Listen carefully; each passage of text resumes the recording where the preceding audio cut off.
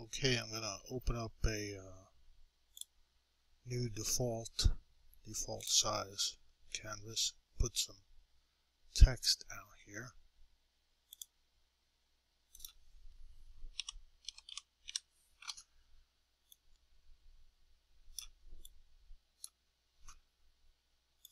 I'll align it to the center and uh, let's choose a color here. Uh,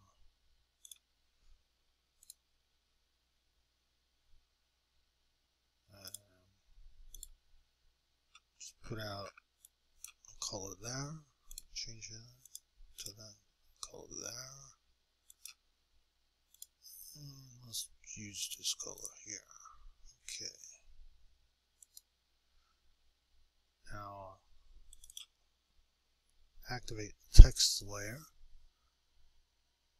Click on color. Choose the picker. And swing it around a little.